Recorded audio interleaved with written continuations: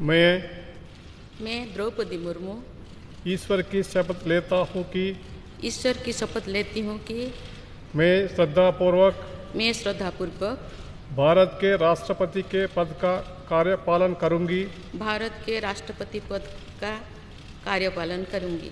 तथा अपनी पूरी योग्यता से तथा अपनी पूरी योग्यता से संविधान और विधि का संविधान और विधि का परिरक्षण संरक्षण और प्रतिरक्षण करूँगी। परिरक्षण संरक्षण और प्रतिरक्षण करूँगी। और मैं भारत की जनता की सेवा और मैं भारत की जनता की सेवा और कल्याण में निरत रहूँगी। और कल्याण में निरत रहूँगी।